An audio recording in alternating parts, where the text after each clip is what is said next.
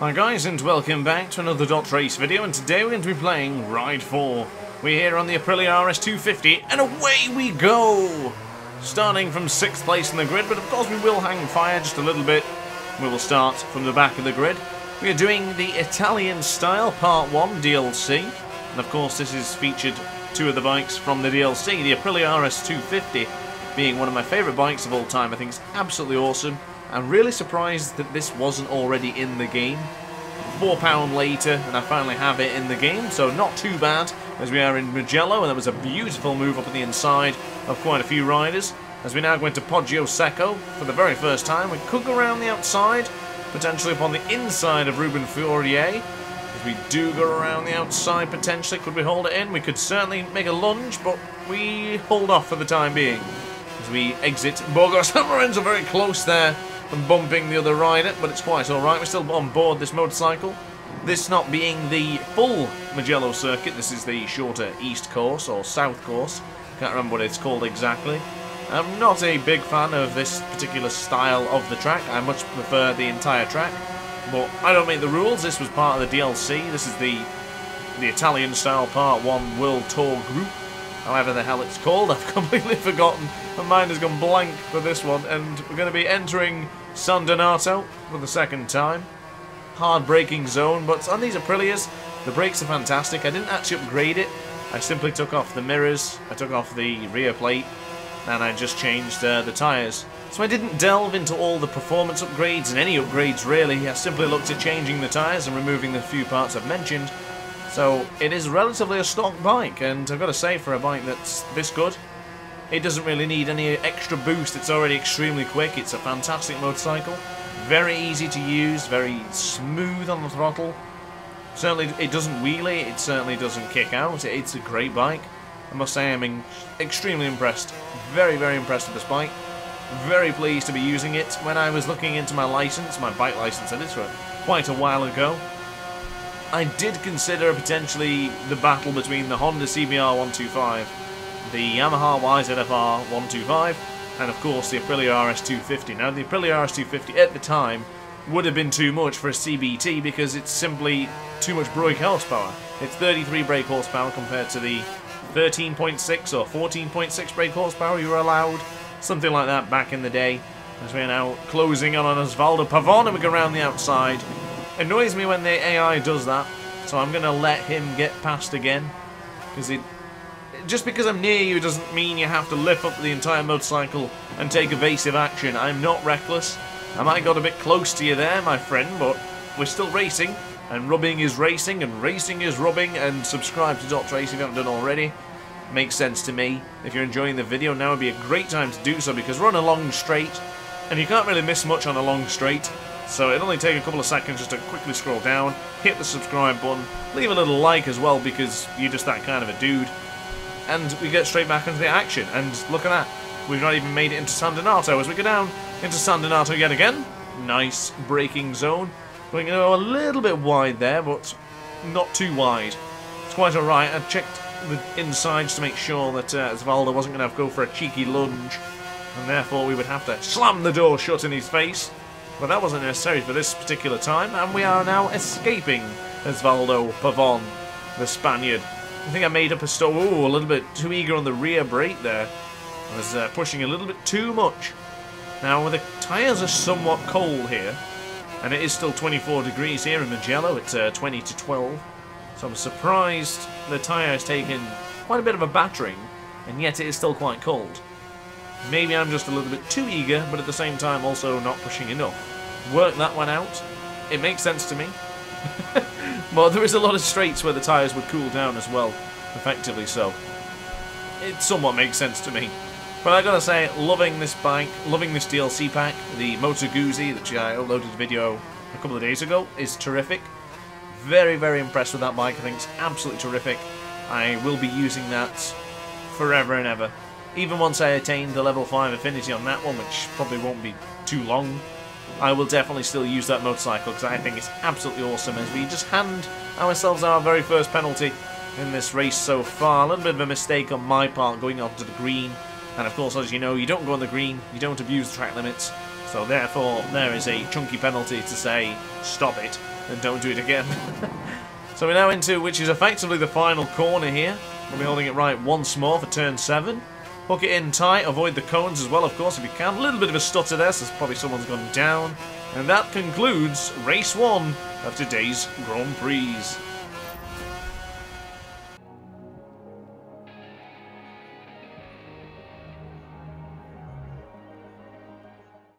So a quick swig of the Lucozade apple for that extra bit of energy while during commentating.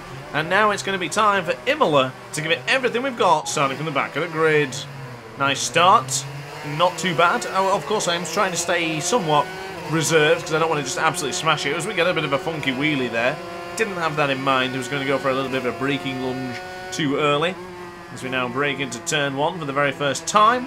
Hold it right, and we have... Oh, oh my goodness. Oh, carnage! Absolute carnage! Chaos! Carnage is in in... Oh, God, it's been ensued already. Unbelievable.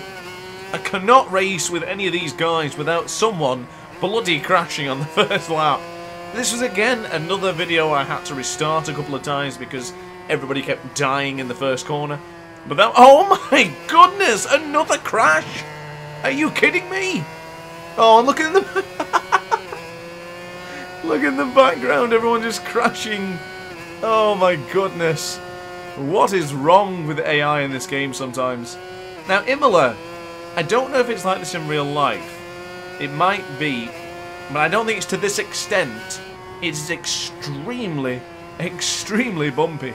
And I don't know if they've done that a little bit overboard in this game, but it seems like every other corner you're just sort of bop bopping and bouncing. It's just it's a little bit odd.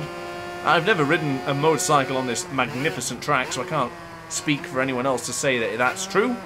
But if you do know in the comment section, let me know if it is really that bumpy, because I think someone definitely needs to take a look at resurfacing this track sooner rather than later. But of course I didn't mention, or at least don't think I mentioned, that this is the Aprilia RS250RM, so it's the same bike effectively as the first one, but with the race modifications. Oh my goodness, give him a good old shove. Do apologise, Fabio Vassallo. That was not what I intended to do. But of course, this being the race modified version, is much quicker, and it's it's a little bit more of a beast. I mean, the Aprilia RS250, regardless whether it's the RM or the standard model, they're just beasts of bikes. They're fantastic. It's really good. And I do recall just, uh, I was veering off a little bit because I was hoping that Fabio would give me a bit of a run for my money on the straight, but he just didn't bother. So I just veered off to the right for no reason.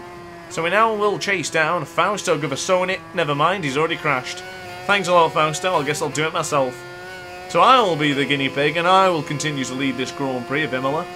A terrific track, certainly one of my favourites, and I'm very, very pleased to be using it again. It's one of those tracks that comes up, and I go, yes, sign me up for some Imola.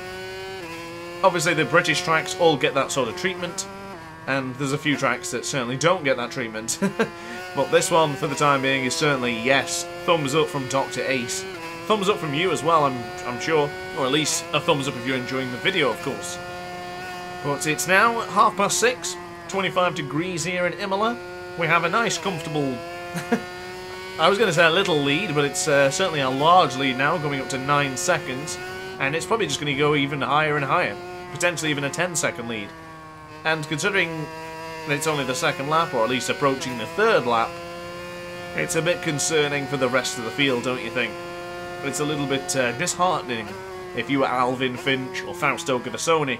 Now, Fausto Gavassoni was leading this Grand Prix for practically the whole duration of that point until he decided to have a kiss on the gravel, which was uh, an interesting choice, definitely. The tarmac did not kiss him back. Uh, yeah, it just decided to whack him. Uh, it was a bit of a disappointment, because I was really looking forward to pulling off some wicked moves. My favourite overtaking point is usually turn 13, or even just before turn... or even during Rivazza. And of course, the classic Variante Bassa. That is a terrific corner to overtake at. And I'm going to run it in a little bit hot there. Nope, looked alright. It looked a little bit hot from where I was sitting, but I'm pleased to say that we still navigated that corner absolutely marvellously. So shout out to the DrAce Aces, everyone in the Discord server. If you haven't joined the server already, now would be a great time to do so. The link is in the description. Or at least the name of the Discord server is. I do tend to post the link, but it gets out of date very quick. So if you would like to join, and you don't have a link and you don't know how to get onto it, you can just type in hashtag StayAce, and that should come up. But if it does not, let me know in the comment section down below, and I'll get back to you, guaranteed in a couple of hours at the latest, with a brand new Discord invite link. So don't fear, don't fret if you haven't uh, received it and you want to join. I will always make sure you get in there, and of course, I'll always read the comment section, so it's a win-win. It's the best place to speak to me nowadays. Of course, I do have social media as well if you are interested in joining me in there. More than happy to speak to any of you anywhere at any time, so just message me if you fancy it. That's all all I'm pretty much going to say. If, uh, if, you're, if you're inclined and you want to follow this channel further, then that's the best place to do it. I do try and keep up to date with everything, so uh, bear that in mind if you would like to continue our relationship, because I do believe we are developing something special here on this channel. Uh, At 850 subscribers, which, I fingers crossed, is not that far away from 900 or even the whopping 1000 that I'm very, very excited to try and get to. I really want that community tab. Help me get the community tab, please. of course, I will be live streaming in two weeks' time. I was thinking of live streaming this weekend, but unfortunately, I couldn't manage it. I didn't have the opportunity to do so. So the next time I will be live streaming is the 6th of March, and that will be at 8pm GMT. So I really hope everyone can join me, and I really hope we can have the same or similar numbers to what we had last time. It was fantastic. We're probably going to race online again or do something a little bit different. Potentially we'll do 20 laps of the Nordschleife or something like that. We can certainly discuss that upon the date of the uh, of the live stream. But I'm very excited and very eager to do another live stream because the last one went so well and I had such a great time. I really want to do it again. And I do want to plan to do these live streams every once every month or something close enough too. So let me know in the comment section down below if you're going to be turning up. I'll be dropping that message in most of the comment sections from now on so you can see. And uh, I'm very, very eager, so I hope to see you there. Fingers crossed I see all of you there. But there's not really much for me to discuss in this one as we enter turn 6 of Variante Villeneuve. There's not much because we are up the road by 16 seconds. I was not expecting to absolutely dominate here in Imola, but it happened. So that's what we've got to deal with today. A nice, comfortable Sunday drive, if you will. Just riding the motorcycle, enjoying the wind blow through one's hair. And it's a relatively pleasant evening here in 10 past 7 in Imola. It's quite relaxed. We're just uh, thrashing the motorcycle around Imola into the Acque Minerali. Really brilliant track and on this terrific bike as well. We'll be doing more of the Italian style part 1 because of course there is more tracks to be done in this particular uh, career mode event. So stay tuned for more of those. I'll be doing another part to the Moto Guzzi bike as well because I thought that was terrific. Really, really like that bike. Let me know in the comment section what your favourite bikers of this DLC pack. If you haven't bought the DLC pack and you're looking for a bit of advice whether you should need it or not, or if you just think it's £4, do I want it? I'm gonna say yes, I would I would definitely recommend this DLC pack. There's some terrific motorcycles. It's very Aprilia heavy, and I was surprised not to see a single Ducati in that group, but I'm guessing there will be then a Ducati pack in the future, because I'm sure that'll sell extremely well. But as we now enter Variante Bassa for the second to last time, we will be approaching that one more time upon this completion of this lap, which will take us to lap 5 of 5. So the final lap with a very, very comfortable 20 second lead and yes, that is a whopping 20 second lead. There's not been much of me discussed in this one, so I really hope you've still stuck around and listened to me waffle on about everything and nothing. And I hope you've just enjoyed the video in general. Just smooth, confident riding. It's great stuff. This bike's awesome. There's not much more else to say with it, really. I'm just really impressed with it. I'm very happy. As we enter Variante Villeneuve. And we'll be approaching one of the best corners in this game, but very, very difficult to master. I always tend to go either too wide or too tight. I never seem to get that one right for some strange reason. Tosa is a little bit of a bugger sometimes, and for some reason AI always crashes there. Or close enough to. I'm a big fan of this left-hander as well. This one just flows so beautifully. Piratella is, oh, beautiful. Might as well call it Fruitella because it's that sweet. And that was cringy, but I'm pleased I made that joke on the fly that was not scripted. Hashtag Fruitella in the chat. Shout out to Johnny Glamour. Shout out to Fruitella. Shout out to Boojang Bengana. And I'm going to surprise you and I'm going to chuck in a brand new hashtag shout out. Carlos Pava Diaz. Carlos Pava Diaz. Whenever I do the World Superbike Leagues, for some reason his name gets brought up so much. And I don't just mention it once and change it to the Brazilian. I still stick with Carlos Pava Diaz. It sounds so good to say. It rolls off the tongue beautifully. Carlos Pava Diaz. so guys, that is going to complete this video in a moment's time once we navigate turn 16 the correct way, which we do. Very, very tasty. I think we're going to have a nice funky wheelie, see if we can hold it all the way across the line. And guys, that's it. So thank you very much for watching this video. I hope you enjoyed. If you did enjoy, please like, comment and subscribe. Hit the notification bell if you haven't done already. It's the best place to be alerted to every single DrAce upload. And I will see you next time. Ciao for now. Oh hi! Didn't quite see you there. Good to see you're still here. If this video didn't quite set your appetite, then why not watch some more DrAce content by clicking the video shown on screen now. Furthermore, if you would like to follow me on social media, you can do so now with the links down in the description. Consider subscribing so you don't miss a single Dr. Race video.